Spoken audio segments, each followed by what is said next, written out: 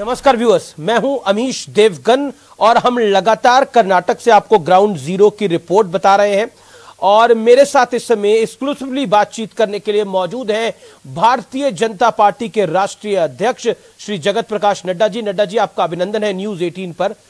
भारतीय जनता पार्टी अपनी पूरी ताकत हर चुनाव में लगा रही है, कर्नाटक के चुनाव में भी लगा रही है। आ, क्या आपको लगता है बीते 40 साल में कोई भी सरकार अपने दम पर रिपीट नहीं हुई है? क्या इस बार हो पाएगी और क्यों हो पाएगी? देखिए निश्चित रूप से रिपीट होगी अमीश जी मैं आपको बताना चाहता हूँ। भारतीय जनता पार्टी मोदी जी के नेतृत्व में और जिस तरीके से काम को आगे बढ़ाया है जी। हमने बहुत से रिकॉर्ड तोड़े हैं। उत्तर प्रदेश में हमने वैसे तो चार बार लगातार हम आ गए 2014 का चुनाव जीता 2017 का चुनाव जीता 2019 का चुनाव जीता 2022 का चुनाव जीता। फोर चुनाव, दो लोकसभा और दो विधानसभाएँ जीती हैं। उसी तरीके से उत्तराखंड में हम लगातार नहीं जीते थे, हम दो बार चुनाव जीत गए। फिर उसी तरीके से हम गोवा में तीसरी बार चुनाव जीत गए। हमने नागालैंड में सरकार बनाई दूसरी बार, हमने त्रिपुरा में दूसरी बार सरकार बनाई। तो हम एक नई संस्कृति के साथ आगे बढ़ रहे हैं। और कर्नाटक में भी जो आप कह रहे हो कि 40 साल का रिकॉर्ड है, वो 40 साल का रिकॉर्ड टूटेगा और भारतीय जनता पार्टी को मोदी जी का जिस तरीके से लोगों के प्रति, लोगों का उनके प्रति जो रुझान है, जो आतुरता है, जो उत्साह देख रहे हैं वोट में, वो वोट में कन्वर्ट होगा और भारतीय जनता पार्टी ऐसा लग रहा है कि भारतीय जनता पार्टी अपनी सेंट्रल लीडरशिप पे ज़्यादा भरोसा कर रही है। गृह मंत्री अमित शाह प्रधानमंत्री नरेंद्र मोदी जेपी नड्डा इन पे ज़्यादा भरोसा कर रही है।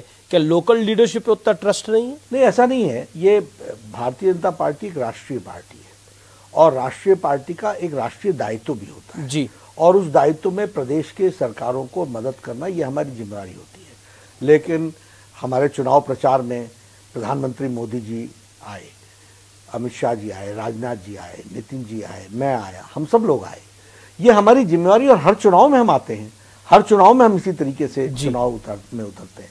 लेकिन क्या येडियुरप्पा जी को चुनाव में प्रचार में उसी ताकत के साथ नहीं लगे? क्या बोमई जी की सभाएँ नहीं हुई? सबकी सभाएँ पचास पचास सौ सौ सभाएँ हुई लेकिन एक एक एक कांग्रेस माहौल बना रही है कि येदुरप्पा नाराज़ है लिंगायत नाराज़ है भारतीय जनता पार्टी से। ऐसा है Congress party always thinks negative ये इन्होंने ये सुधरेंगे नहीं क्षमा करिएगा। अच्छा शब्द नहीं है बोलने को।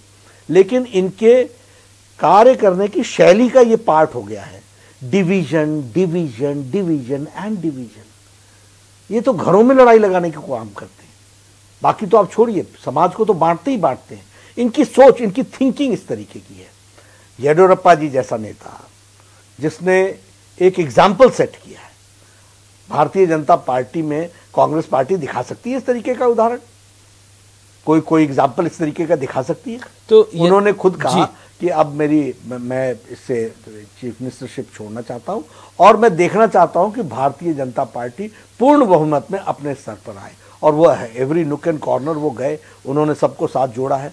लेकिन ये डिवीज़न की बात करना लोगों में भ्रम पैदा करना ये कांग्रेस का रिवायत तो ये येदुरप्पा जी आ, काफ़ी एक्टिव हैं आप कह रहे हैं। बिल्कुल। पूरी तरह काफ़ी एक्टिव ही नहीं है। जी। और वो पूरी ताकत से लगे हैं शिद्दत से लगे हैं। क्योंकि ये द्रपा जी ने साइकिल पे घूम के भारतीय जनता पार्टी का विस्तार यहाँ पर करा। उनके उनका उनका उनका बेटा इस बारी चुनाव लड़ रहे हैं। क्या आपको लगता है कि सीएम को लेकर भारतीय जनता पार्टी आश्वस्त नहीं है? बसवराज बोमई को लेकर आश्वस्त नहीं है? क्योंकि सीएम कैंडिडेट का नाम आप बोल नहीं रहे हैं। हालाँकि वो अभी आपके सीएम है लेकिन आने वाले सीएम भी वही होंगे हमारा तरीका ही ऐसा होता है। पर यूपी में नहीं था ऐसा? नहीं निश्चित रूप से होता। आपने भी मेरे से पूछा था। मैंने कहा योगी जी नेतृत्व तो करेंगे। उसी तरीके से मैं कहता हूँ कि बोमई जी नेतृत्व तो करेंगे। उनके ही नेतृत्व तो में हम चुनाव लड़ रहे हैं। लेकिन आप बोलिएगा मुख्यमंत्री होंगे इसका ये it is a something which is to be done by parliamentary board and it is a procedure which is done लेकिन जब हम उनकी तस्वीर लगाते हैं जब हम उनको आगे लेकर के चलते हैं तो उसका मतलब यही होता है। एक सवाल कि अब तो कर्नाटक के चुनाव में बजरंग बली की भी एंट्री हो गई है। क्या कहना चाहते हैं आप इस विषय के ऊपर? अमीश जी, बजरंग बली की एंट्री कांग्रेस पार्टी ने कराई। हमने नहीं कराई। और वो तुष्टिकरण की राजनीति से ग्रसित होकर के कराई। वो उन्होंने कराई है तो निश्चित रूप से, जब आप समाज में किसी को प्लीज़ करने के लिए, तुष्टिकरण करने के लिए इस तरीके के स्टेटमेंट्स दोगे, इस तरीके के स्लोगन्स दोगे तो लोग सामने भी खड़े होंगे ना। जब आप किसी को अपीज करते हैं तुष्टिकरण करते हैं तो दूसरी तरफ़ भी लोग खड़ा होना चाहते हैं। तो बजरंग बली की एंट्री तो आपने कराई है। और उसका वो आपको देखना भी पड़ रहा है। लेकिन लेकिन क्या बीजेपी पूरी बजरंग बली के सहारे है? क्योंकि प्रधानमंत्री अपनी रैली में कहते हैं अगर वोट डालना तो जय बजरंग बली कह के वोट डालना। ऐसा है बीजेपी अपने नेताओं के सहारे है बीजेपी प्रधानमंत्री मोदी जी के नेतृत्व में आगे बढ़ रही है बीजेपी अपने कार्यकर्ताओं के आधार पर बढ़ रही है। लेकिन हमारे यहाँ बजरंग बली का नाम लेना ये स्वाभाविक बात है। कोई भी पवित्र काम करते हैं तो हम गायत्री मंत्र पढ़ते हैं, हम बजरंग बली का नाम लेते हैं। हम उनको लेकर के आगे चलते हैं तो उसका अगर हम उपयोग कर रहे हैं तो दिक्कत क्या हो रही है? फिर इसको मैं दूसरे तरीके से लूँ तो क्या भज, बजरंग दल पर बैन कांग्रेस ने एक गलती कर दी? मान लेते हैं तो बीजेपी के लिए उस गलती ने संजीवनी बूटी का काम किया जो कर्नाटक यहाँ में पिछड़ रही कोई थी। ऐसा हमारे यहाँ कोई संजीवनी बूटी का विषय नहीं होता। सच को सच बताना ये हमारी जिम्मेवारी होती है। और आपके बदनीयति को एक्सपोज करना ये हमारा हमारी जिम्मेवारी होती है।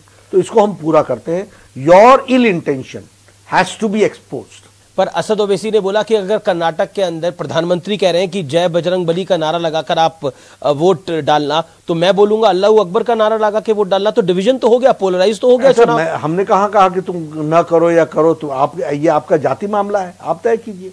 हम कहा मना कर रहे हैं? पर क्या चुनाव में धर्म की एंट्री नहीं हो गई? एक तरफ़ बजरंग बली एक तरफ़ अल्लाह अकबर। हमीश जी लाया कौन?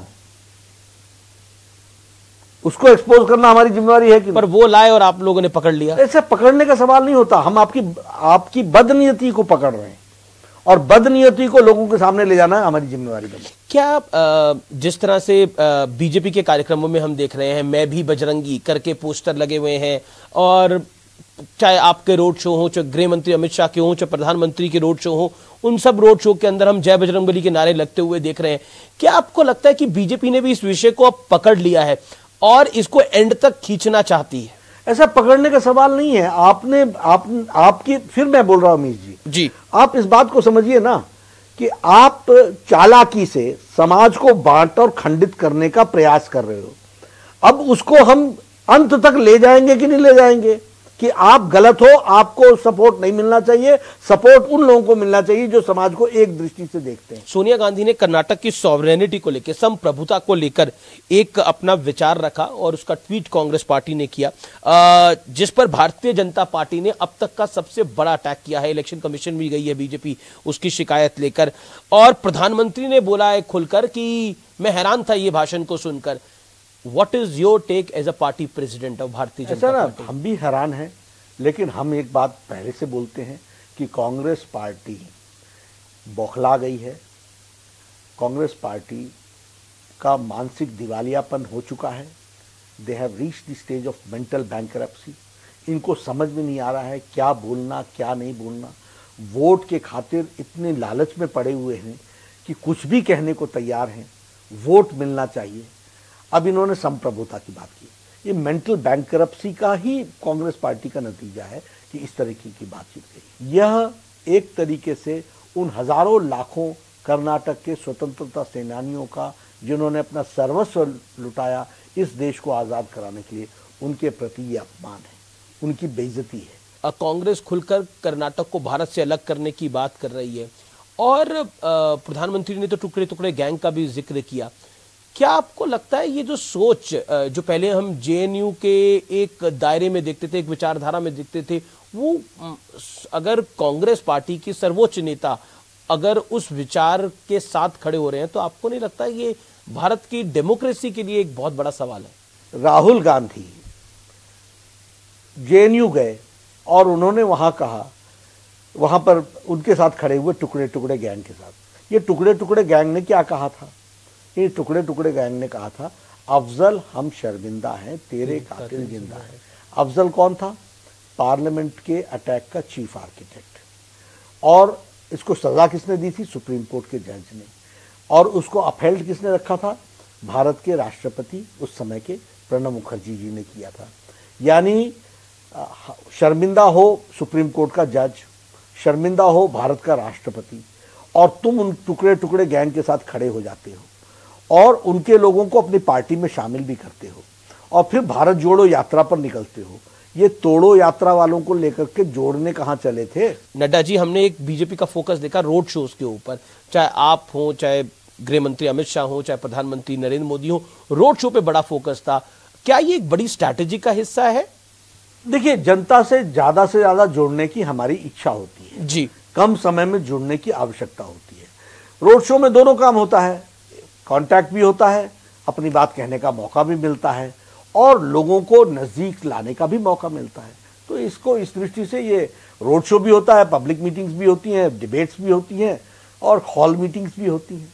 बीजेपी इस बार ही कॉन्फिडेंट है कि उसकी वो 130 के आसपास सीटें मिलेगी 120 के आसपास सीटें मिलेगी। कांग्रेस कॉन्फिडेंट है कि इस बार ही उनका आंकड़ा 150 तक छू सकता है सिद्धरामैया और डी के शिव कुमार और ओपिनियन पोल्स भी आए हैं। ओपिनियन पोल्स अगर हम करें तो 50 परसेंट अगर कहते हैं कि कांग्रेस जीत रही है तो 50 परसेंट कहते हैं भारतीय जनता पार्टी जीत रही है। तो क्या आपको लगता है बीजेपी ने आज तक कभी 110 का आंकड़ा पार नहीं किया है कर्नाटक के चुनाव के अंदर जब एक लहर भी हमने बीजेपी की देखी? ऐसा है भारतीय जनता पार्टी उस समय की भारतीय जनता पार्टी और आज की भारतीय जनता पार्टी में ज़मीन आसमान का अंतर है। पार्टी के बेस में भी और पार्टी में हर वर्गों के जुड़ाव में भी। इसके इसके व्याप में बहुत बड़ा फ़र्क है। इसलिए हर चुनाव में भारतीय जनता पार्टी का वोट शेयर बढ़ता है। क्या कारण आप देखते हैं? मेहनत है। चुनाव में तो आप उतरते हैं। तीन महीने पहले दो महीने पहले कोड ऑफ़ कंडक्ट लगने के पहले। हम तो हर दिन ही चुनाव लड़ते हैं। मेरा मेरा सीधा सवाल है क्या हिंदुत्व की पिच पे बीजेपी खेल रही है? इसलिए उसे उम्मीद है कि इस बार सारे आंकड़ों को पार कर देगी बीजेपी। ऐसा है भारतीय जनता पार्टी राष्ट्रीयता के पिच पर खेलती है। यूसीसी यूनिफॉर्म सिविल कोड राष्ट्रीय विषय है। आर्टिकल 370 राष्ट्रीय विषय है। भारत की अस्मिता राष्ट्रीय विषय है। इसलिए राष्ट्रीयता के पिच पर खेलती है। और इसीलिए लोगों का शाबाशी भी मिलती है साथ भी मिलती है। लेकिन अगर अगर यूसीसी राष्ट्रीय विषय है तो सेंट्रल सेंट्रल गवर्नमेंट को वो करना चाहिए तो राज्य सरकारें सिर्फ़ कर रही है और वो भी चुनाव से ठीक पहले कर रही है। जब ठीक पहले करने की बात करते हैं घोषणा पत्र जब मैनिफेस्टो आता है तभी करते हैं अमीश भाई। पर चार साल तो आप ही की सरकार थी। हाँ ठीक है ना हम इसको बता रहे हैं कि अब हम इसको करने वाले हैं। जब हम करने वाले होते हैं तो हम बता देते हैं। कि बीजेपी को यह लग रहा है कि इस बार चाहे लिंगायत हो चाहे वोका लिंगा हो चाहे कांग्रेस कितनी भी जातियों को करे लेकिन इस बार ये हम हिंदुत्व का प्लान अगर चलेंगे तो खेल बदल जाएगा पूरी तरह फिर मैं कहता हूँ अमित जी ये शब्दावली जो है ना जी। इस शब्दावली को भारतीय जनता पार्टी प्रपोज नहीं करती है। भारतीय जनता पार्टी की शब्दावली है सबका साथ सबका विकास सबका विश्वास सबका प्रयास। लिंगायत भी एससी भी एसटी भी सबको साथ वोका लिंगा भी। सबको साथ लेकर के चलना है। लेकिन चार परसेंट मुस्लिम आरक्षण अपने चुनाव से ठीक पहले खत्म कर दिया और असंवैधानिक असंवैधानिक था। पहले भी कर सकते थे खत्म? समय देख करके किया जाता है। पहली बात जब हमने री री किया जब हम सबका साथ सबका विकास सबका विश्वास कहते हैं लिंगायत को जब हमने उनका बढ़ाया जब हमने वोकालिंगा का बढ़ाया जब हमने एससी का दो परसेंट बढ़ाया जब हमने एसटी का बढ़ाया जब हमने इंटरनल रिजर्वेशन को रैशनलाइज किया। जी। जब सारी चीज़ें की तो उसमें ध्यान में आया कि चार परसेंट तो गलत तरीके से हुआ है असंवैधानिक है। इनको उसमें कोटे में मिलना चाहिए और पसमंदा भाइयों को मिलता है बैकवर्ड में। तो सही रिप्रेजेंटेशन होना चाहिए तो पसमंदा भाइयों को उसमें मिला बाकियों को भी इस तरीके से मिला है। के रहमान खान कांग्रेस पार्टी के वरिष्ठ नेता हैं आप का परिचय उनसे हो गई। उन्होंने कहा है कि अगर कांग्रेस अब शासन में आई तो छह परसेंट कर देगी मुस्लिम आरक्षण को चार परसेंट से और बढ़ा के दो परसेंट और बढ़ा देगी छह परसेंट कर देगी। क्या आपको लगता है कि ये सब ये जो विषय है यही इलेक्शन को पोलराइज कर रहे हैं? ऐसा रहमान साहब किस पार्टी के हैं? कांग्रेस पार्टी के। तो फिर उनसे पूछिए ना हम तो यही कहेंगे कि ये इसी काम में जुटे रहते हैं। समाज को विभाजित करने के लिए गैर संवैधानिक बातों को कहने के लिए कोई कांग्रेस पार्टी में पूछता नहीं है कि संविधान पढ़ते हो तुम?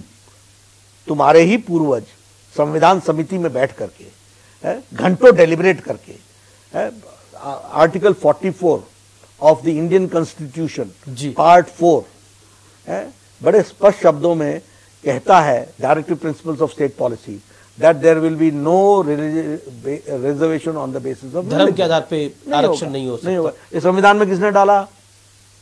संविधान समिति में सदस्य अधिकतर कौन थे?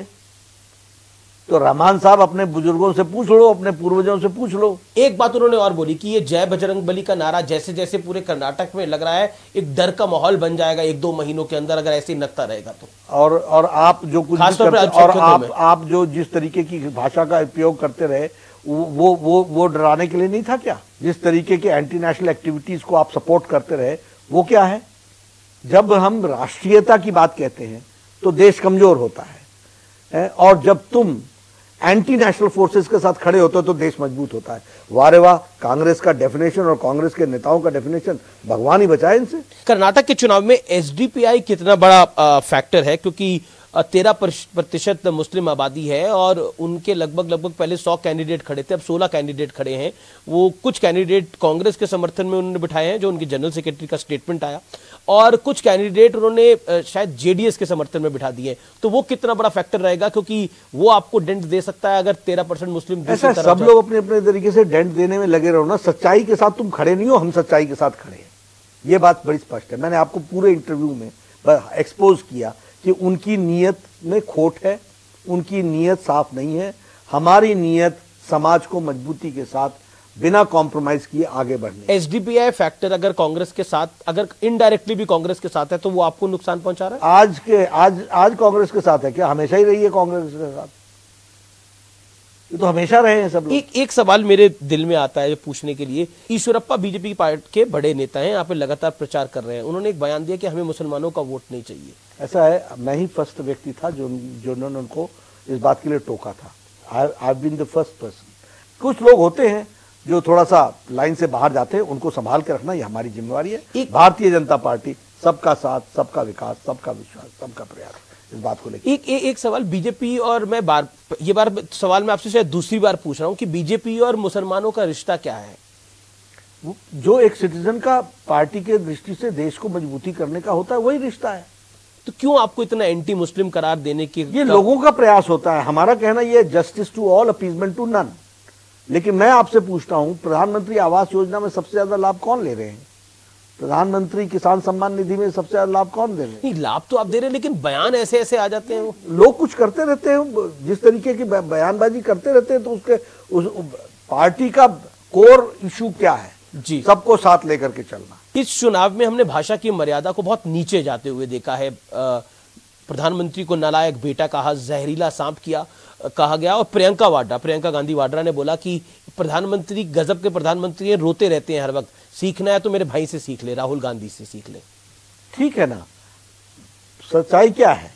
सच्चाई ये है कि आप इतने प्रधानमंत्री की शख्सियत से बौखला गए हैं, घबरा गए हैं, आपको कुछ सूझ नहीं रहा है कि आपका भाषा स्तर विहीन हो रहा है, बहुत नीचे उतर रहा है तरह तरह की आप बातें करते हैं।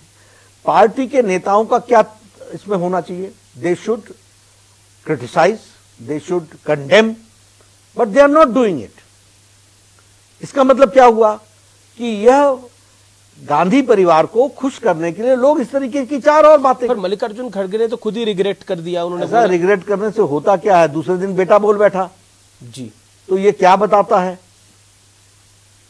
प्रधानमंत्री ने तो अपनी गालियाँ गिनाई 91 और फ़र्स्ट ये गांधी परिवार ने इस पर क्या रिएक्ट किया प्रियंका गांधी ने कहा राहुल जी से मोदी जी को सीखना चाहिए। उस विषय पर आप क्या कहना चाहते हैं? ऐसा ये बहन का तो हमेशा इच्छा होगी कि भाई के बारे में अच्छा ही बोले।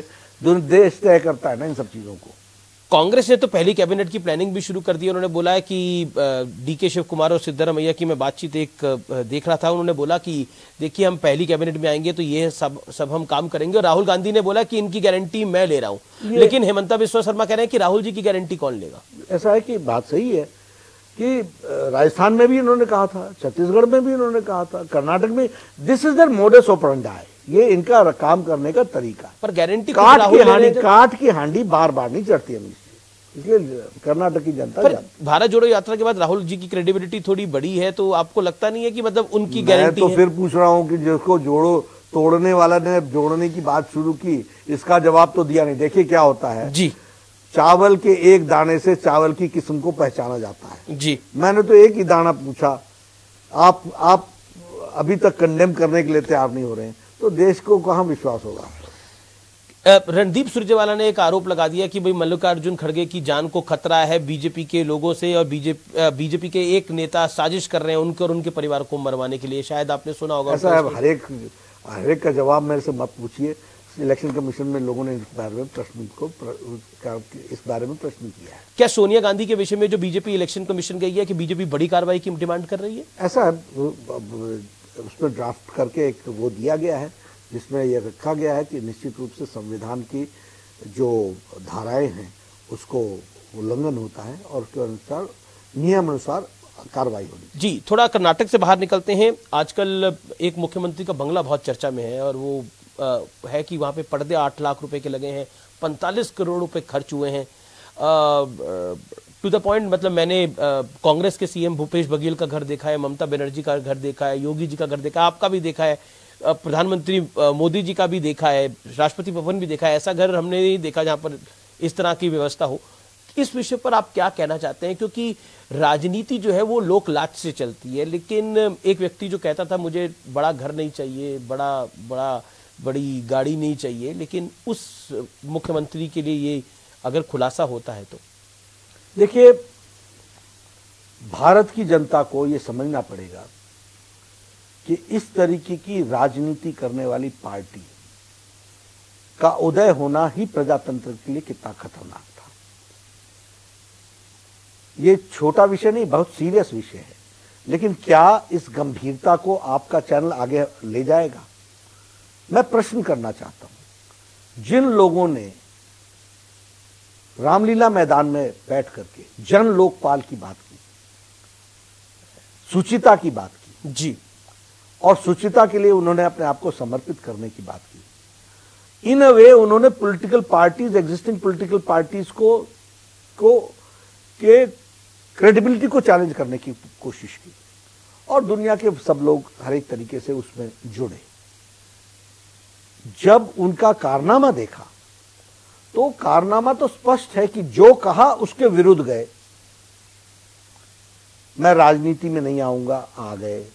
मैं पार्टी नहीं बनाऊँगा पार्टी बनाई। मैं गाड़ी नहीं लूँगा श्रृंखला जोड़ ली।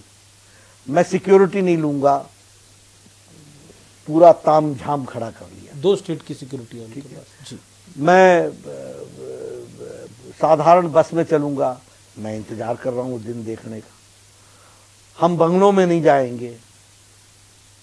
ये जो, और मैं फिर कहता हूँ, अगर डेमोक्रेसी को मेच्योर होना हो तो हमेशा याद रखना कि जो लोग अपने बूते से बाहर के बातें करते हैं, वह प्रजातंत्र के लिए खतरनाक होते हैं। ये वही उसका जीता जागता प्रमाण है।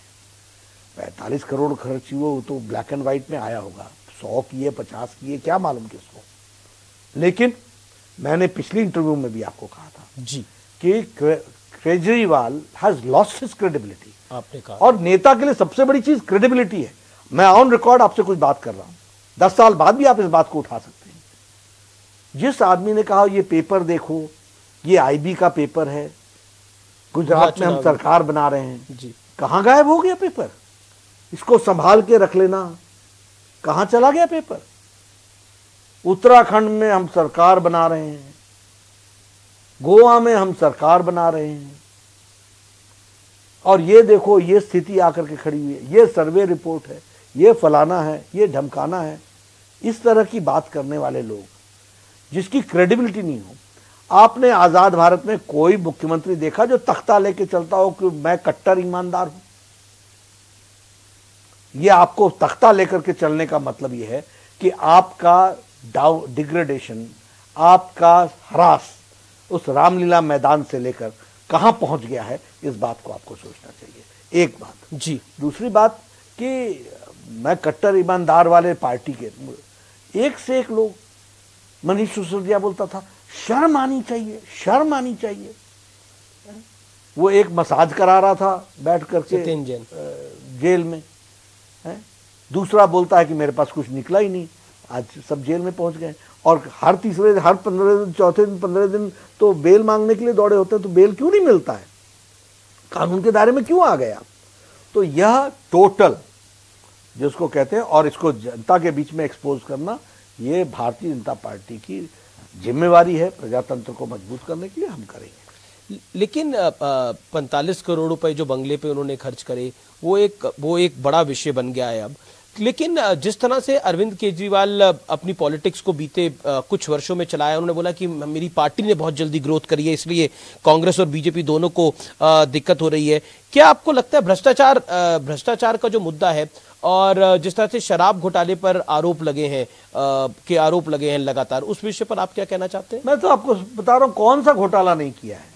बस घोटाला, पानी घोटाला, जल घोटाला, हर घोटाले किए शराब घोटाला, माफिया सब कुछ है। वो कह रहे हैं सीबीआई के पास कोई सबूत नहीं है पर। है तभी तो अंदर हैं। अगर सबूत नहीं होते तो अंदर कैसे हैं? चलिए आपने हमें बहुत बहुत अपना समय दिया उसके लिए बहुत बहुत शुक्रिया लेकिन आखिरी में बीजेपी की कर्नाटक में कितनी सीटें आ रही हैं? बहुमत के साथ अच्छे तरीके से कंफर्टेबल मेजोरिटी के साथ भारतीय जनता पार्टी की सरकार बन रही है। बहुत बहुत शुक्रिया।